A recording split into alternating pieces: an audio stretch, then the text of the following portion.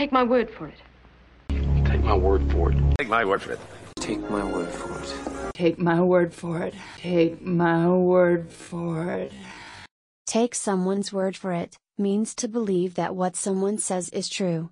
For example, if he says there's $500 in the envelope, then I'll take his word for it.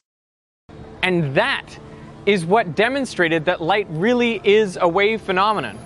And you don't even have to take my word for it. You can see it with your very own eyes. I mean, swim as hard as I could, and I just couldn't like go anywhere. But don't just take my word for it. Watch Jordan try butterfly. All right.